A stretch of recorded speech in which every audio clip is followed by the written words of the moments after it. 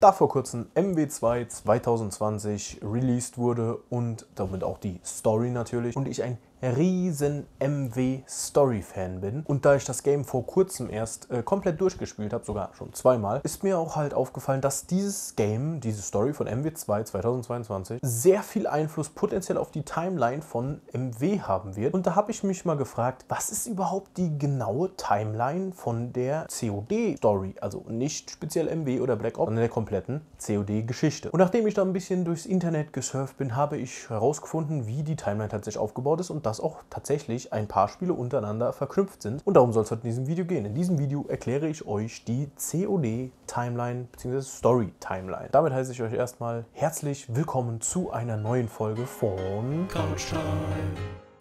Fangen wir am frühesten Punkt der COD-Timeline an und das wäre Call of Duty World War II. In diesem Teil der Reihe befinden wir uns, wie der Name schon sagt, im Zweiten Weltkrieg und es geht hauptsächlich um einen US-amerikanischen Soldaten namens Red Daniels, der unter anderem in der Story, in der Kampagne, den bekannten D-Day an der Normandie durchlebt und im Verlauf des Games mit seinen Kameraden sich durch deutsche Truppen nach Deutschland äh, vorkämpfen muss. Weiter geht's chronologisch mit dem letzten erschienenen Teil vor MW2 der Reihe und wahrscheinlich auch dem unbeliebtesten Teil, zumindest was den Multiplayer angeht, und zwar Call of Duty Vanguard. Auch in dieser Kampagne befinden wir uns im Zweiten Weltkrieg, aber eher Richtung Ende des Zweiten Weltkriegs. Wir sind mit einem Spezialtrupp der Alliierten unterwegs und sind dabei Oberst Gruppenführer Hermann Wenzel Freisinger, was das für ein Name und sein Phoenix-Projekt äh, aufzuhalten bzw. zu verhindern. Dazu kämpfen wir uns durch viele echte Schauplätze der reellen Geschichte, darunter auch die Schlacht um Stalingrad. Der nächste Teil der Reihe wäre Call of Duty 2 nicht nur ein Spiel, was in einer älteren Zeit spielt, sondern tatsächlich auch eines der älteren Call of Duties und eines der Call of Duties, was ich persönlich tatsächlich nicht gespielt habe. Aber so viel ich über Google herausfinden konnte, spielt man tatsächlich vier unterschiedliche Charaktere aus drei unterschiedlichen Ländern, die sich dann an verschiedensten Orten gegen die deutschen Truppen äh, zu Wehr setzen. Auch bei dem nächsten Teil habe ich die Story bzw. das komplette Game nie gespielt. Das wäre Call of Duty World at War. Ein ähnliches Spielprinzip wie bei COD 2. Hier wechseln wir zwischen dem europäischen und pazifischen Kriegsschauplätzen und in beiden Regionen gibt es dementsprechend dann auch unterschiedliche Missionen zum Absolvieren. Zum einen müssen wir aus einem japanischen Gefängnis unseren Kameraden befreien und auf der anderen Seite sitzen wir dann in einem Scharfschützennest und äh, ja, helfen bei der Schlacht um Stalingrad. In Call of Duty, ja, der Teil heißt nur Call of Duty tatsächlich, sind wir weiterhin fleißig dabei, mit den Alliierten die Nazis zurückzuschlagen. Wie auch in den letzten Teilen schon tatsächlich. Call of Duty 3 lässt uns dann den D-Day nochmal durchspielen. Und das Ganze als Teil der französisch-kanadischen, polnischen, britischen und amerikanischen Armee. Und mit dem nächsten Teil kommen wir jetzt tatsächlich zu einem Teil oder zu den Teilen, mit denen wahrscheinlich die meisten Zuschauer und auch ich groß geworden sind. Denn als nächstes Timeline-technisch kommt Call of Duty Black Ops also Black Ops 1.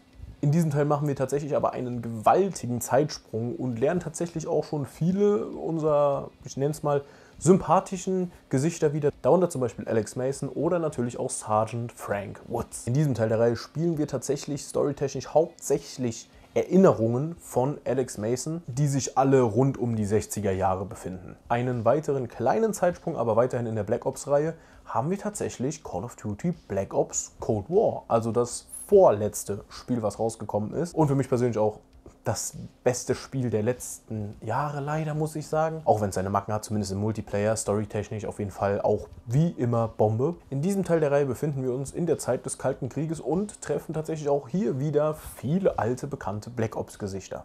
Und mit diesen Charakteren kämpfen wir uns dann durch tatsächlich historische, geschichtlich korrekte Schauplätze in historisch-geschichtlich korrekten Schlachten. Was mir nämlich an dieser Story auch so gut gefällt, nämlich dieser hohe Realismusfaktor, dass halt einige Missionen wirklich eins zu eins historische Ereignisse widerspiegeln bzw. wieder durchspielen lassen. Natürlich wird es hier und da kleine Änderungen geben. Man, es wird wahrscheinlich im echten Kalten Krieg keinen Sergeant Frank Woods gegeben haben. Vielleicht doch, weil das ist schon eigentlich ein Name, der, na doch, in Amerika Amerika, Frank Woods, doch. Ja. Aber ihr wisst, was ich meine. Und das gefällt mir an der Story, dass die halt wirklich viele Missionen hat, die sehr, sehr realistisch sind und nicht halt so, ich nenne es mal abgefälscht in der Hinsicht, okay, diese, diesen Charakter, den wir da getötet haben, der äh, ist aber eigentlich in der echten Geschichte nicht gestorben. Und man kann in diesem Spiel auch Entscheidungen treffen. Wovon ich ja ein Riesenfan bin in Spielen, Entscheidungsmöglichkeiten, ob es jetzt sowas ist wie Until Dawn oder Paradebeispiel Detroit, Become Human. Also das ist ja wohl das Paradebeispiel für ein gutes Spiel mit Entscheidungsmöglichkeiten, ist hier in Cold War tatsächlich minimaler, verändert natürlich auch dann minimal die Story, aber da es drin ist, finde ich es einfach super. Ich feiere diese Mechanik. Nicht viel später in der Timeline kommen wir zu Call of Duty Black Ops 2. Wahrscheinlich mit das beliebteste COD der Geschichte und das wird es wahrscheinlich auch immer bleiben. Hier spielen wir wieder Alex Mason und tatsächlich auch seinen Sohn David Mason und mit diesen beiden Charakteren begeben wir uns im Verlauf der Story tatsächlich dann auch durch zwei Timelines. In der Alex-Timeline haben wir dann die 1980er Jahre und seinen Sohn spielen wir tatsächlich schon ein wenig weiter in der Zukunft. Auch hier treffen wir wieder mal auf bekannte Gesichter, und zwar Woods und Hudson. Jetzt kommen wir in eine Richtung, die mir persönlich sehr am Herzen liegt, denn das, was für manche Leute Black Ops 2 ist, war für mich MW2 bzw. überhaupt die Modern Warfare Reihe. Und da starten wir chronologisch mit Call of Duty 4 Modern Warfare. Hier spielen wir abwechselnd in den Jahren 1996 und 2011. Hier begeben wir uns als US Marine Jackson und dem guten alten SAS Elite-Soldat Soap in die Action. Auch den guten Captain Price bekommen wir hier in diesem Teil das erste Mal zu Gesicht. Ziel der Story ist hier das Aufhalten der Russen bzw. die Eliminierung von Imra Zakaya und später auch dessen Sohn. Nun einige Entwicklungen Entwicklungsjahre später befinden wir uns in Modern Warfare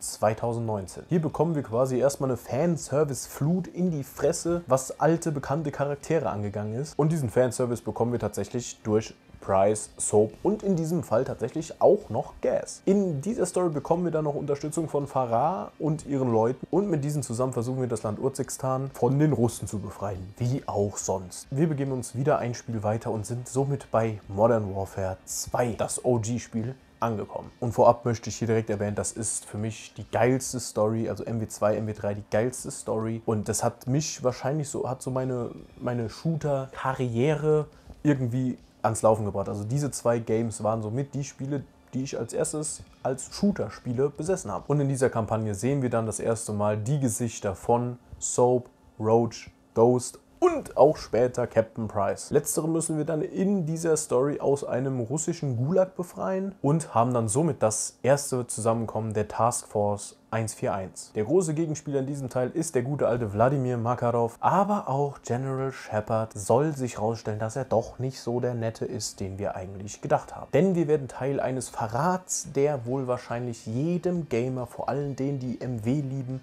wahrscheinlich jetzt noch das Mark in den Knochen zum Kochen bringt und wahrscheinlich eine Gänsehaut über den Rücken jagen wird. Aber unsere Rache wird uns in der Story nicht lange verwehrt, die können wir dann Gott sei Dank auch ausleben. Und davon abgesehen ist wahrscheinlich MW2, hat wahrscheinlich die beliebteste und bekannteste Mission in der ganzen COD-Geschichte. Und zwar kein Russisch. Uff. Einfach nur Gänsehaut, diese Mission. Bringen wir wieder etwas mehr in die Zukunft und sehen uns Call of Duty Ghosts an. Denn mit diesem Spiel kam wahrscheinlich mitunter das unbeliebteste Spiel der COD-Geschichte auf den Markt. Es hatte seine Fanbase, keine Frage. Es ist auf jeden Fall besser als Vanguard, würde ich sogar sagen. Und ich habe es nicht wirklich gespielt. Aber in der Story von diesem Game befinden wir uns im Jahre 2027 und sind unterwegs mit einem Team gleichnamig des Spiels, und zwar den Ghosts, mit denen wir mit leicht futuristischen Waffen gegen die Föderation kämpfen müssen. Und nein, nicht die Föderation aus Star Trek. Es gibt ein paar Rückblenden ins Jahr 2015, aber das mitunter beste Feature in dieser ganzen Kampagne ist das Steuern des deutschen Schäferhunds Riley. Den nächsten Teil, der im Jahre 2043 spielt, den haben wir tatsächlich ganz schnell abgeknabbert. Und zwar Black Ops 4, denn Black Ops 4 hatte keine Kampagne. Warum? Weiß ich nicht. Äh, ich wusste es bis zum Recherchieren von dem Video tatsächlich selber nicht. Bin ich ganz ehrlich. Und das, wobei Black Ops, beziehungsweise in dem Fall Treyarch, sehr gute Kampagnen hinkriegt. Und das eigentlich immer. Zehn Jahre weiter in der Zukunft befinden wir uns in Call of Duty Advanced Warfare. Hier spielen wir US Marine Jack Mitchell, der sich gegen Jonathan Irons, gespielt von Kevin Spacey, durchsetzen muss und seine bösen Machenschaften durchkreuzen muss. Denn dieser besitzt das größte private Militärunternehmen und schreckt auch vor nichts zurück, um quasi seinen Profit zu erhöhen. Im nächsten Teil springen wir wieder weit weit in die Zukunft, nämlich ins Jahr 2070. Und zwar in Black Ops 3. In der Kampagne von diesem Teil geht es tatsächlich hauptsächlich um die Angst und den Kampf gegen die Übernahme der Menschen von den Robotern, wodurch wir uns dann mit einem Soldaten der Black Ops, der tatsächlich auch kybernetisch verbessert wurde, begeben müssen. Und mit diesem müssen wir uns dann auch mit den Gedankenspielchen der CIA auseinandersetzen. Und nun kommen wir zum letzten chronologischen Teil der Reihe, und zwar Call of Duty Infinite Warfare. Wobei wir in diesem Teil nie erfahren haben, in welchem Jahr der spielt. Aber da der Protagonist Nick Reyes auch in Schwerelosigkeit und mit Raumschiffen Kämpfe absolviert, wird es auf jeden Fall einiges in der Zukunft gespielt haben. So, und das waren jetzt alle Call of Duty Games in der chronologischen Reihenfolge und noch ein bisschen so die Story bzw. der Inhalt erklärt. Aber Moment mal, ich habe doch am Anfang des Videos auch von MW2 2022 geredet. Wo ist denn das in der Liste? Und genau deswegen packe ich jetzt noch ans Ende. Da ich mir nach Durchspielen der Kampagne von MW2 2022 auch nochmal die anderen Kampagnen von den MW-Teilen vor allem sehr genau angeguckt habe, habe ich da so einen leichten Verdacht, in was für einer Zeitlinie das ungefähr spielen kann bzw. muss. Denn ich bin zum Entschluss gekommen, dass MW 2022 irgendwo zwischen dem Ende von MW 2019 und dem Ende von MW2, dem OG-Spiel, spielen muss. Da, Spoiler Alert, am Ende von MW2 2022 Makarov erwähnt wird, wir aber noch keinen Roach kennengelernt haben und auch ein anderer wichtiger Charakter noch am Leben ist und außerdem General Shepard noch kein Messer im Kopf hat, muss der neue Teil auf jeden Fall irgendwo in der Mitte von MW2, dem alten Teil, spielen. Das ist kein bestätigter Fakt. Dazu habe ich bis jetzt noch nichts gefunden aber es ist für mich macht es am meisten Sinn und es würde halt auch rein charaktertechnisch und storytechnisch am besten passen. Viele Leute sagen auch, dass die neuen MW-Teile mit MW 2019 und MW 2 2022 auch eine neue Timeline quasi der MW-Reihe verknüpft wird.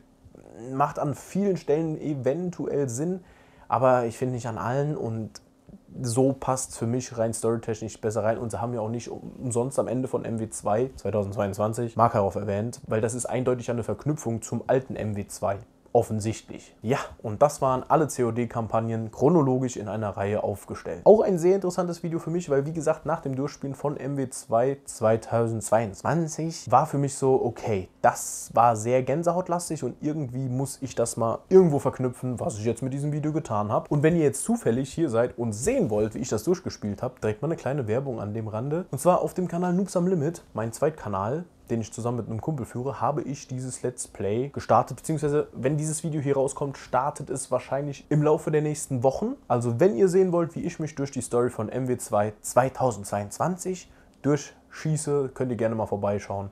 Auf dem Kanal Moods am Limit ist aber hauptsächlich wirklich Gaming, Let's Play im Vordergrund. Also falls ihr euch weiterhin für Filme und Serien hauptsächlich interessiert, bleibt natürlich auch gerne hier. Und wenn ihr schon hier seid, lasst doch liebend gerne mal ein Abo da. Würde mich auf jeden Fall freuen und ihr würdet auf jeden Fall kein Video mehr verpassen. Und jetzt könnt ihr noch in die Kommentare schreiben, was ist eure Lieblings-COD-Kampagne bzw. was ist euer Lieblings-COD-Teil? Lasst es mich gerne in den Kommentaren wissen und ja, dann würde ich sagen, sehen wir uns im nächsten Video. Dann höchstwahrscheinlich wieder auf derselben Couch wieder und bis dahin bin ich raus. Ciao.